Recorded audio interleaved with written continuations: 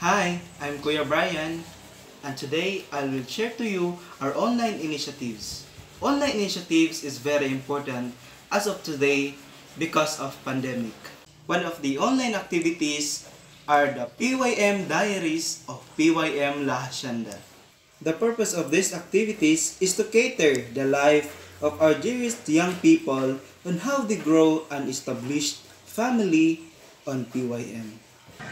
It was 2015 when I joined the PYM, and I still remember how everything started.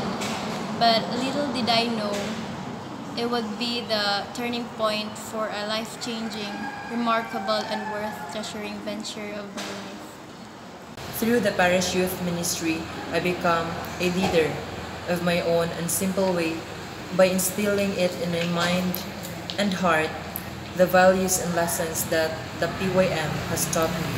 Through PYM also I was able to know and assess my strengths and weaknesses as a person.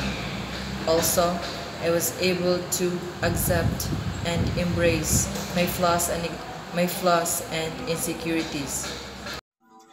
Parish Youth Ministry helps me to grow spiritually in a sense that my relationship with God was nourished by means of serving and as a contribution to the church. And at this young age, through the PYM diaries, I was able to inspire other youths to become a good leader in serving the people of God. So now, what are you waiting for? Share your PYM diaries with us.